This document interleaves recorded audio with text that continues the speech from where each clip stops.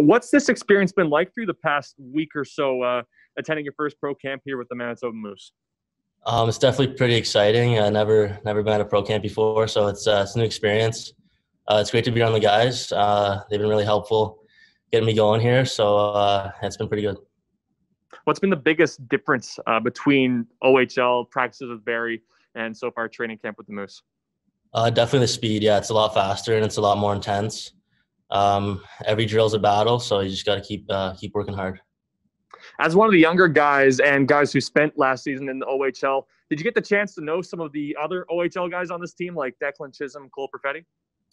Um, not personally, but I definitely uh, remember playing against them.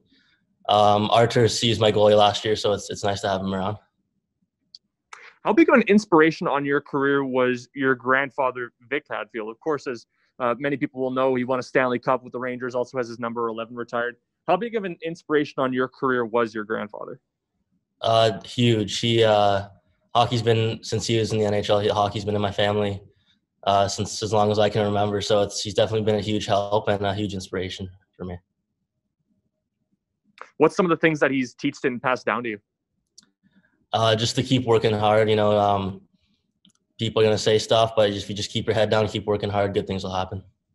What are some of the things you've learned with the Moose coaching staff so far? I, again, it's really difficult to sort of build relationships with COVID 19 and all the protocols that are in around the room and stuff like that. But what are some of the, the biggest tips and biggest things you've learned so far here at Moose Camp? Uh, definitely just to, just to never quit, you know, keep battling hard. Um, just kind of things like that. Keep doing the little things. Those will help out.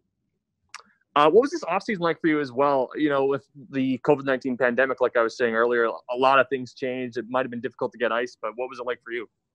Uh, it was great. I had um, a lot of guys uh, helping me out this summer, uh, getting me stronger, getting me faster. Um, it's definitely more of a challenge than, uh, than past summers just due to COVID and, and stuff like that. But uh, yeah, I had a pretty good summer. And uh, final question for you, but what are you most looking forward to with the AHL season? Hopefully, starting here in Canada in the near future. What's the what's the most important thing you're looking forward to? I guess. Uh, just to get out there and play. You know, I've been uh, the OHL season last year got canceled in in March, so it's it's been a while since I played a game. So uh, just to get out there and play and just get out there and skate with the guys, it's it's been great.